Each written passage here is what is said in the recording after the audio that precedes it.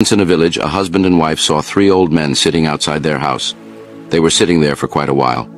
The wife went outside and said, We don't know you, but we saw that you are sitting here for long. You must be hungry.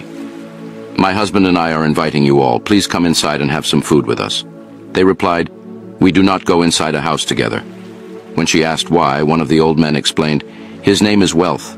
If he goes with you, your home will be filled with wealth always. And he is success. If he goes with you, you will always be successful in any endeavor you start.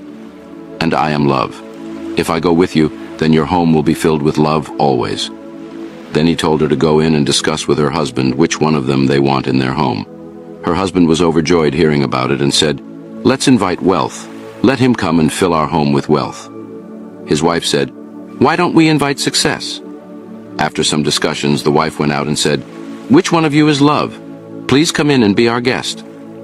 Love got up and started walking toward the house.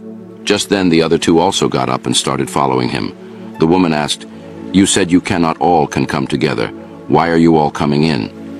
The old men replied, If you had invited wealth or success, then the other two would have stayed outside. But since you invite love, wherever he goes, we go with him. Wherever there is love, wealth and success will follow.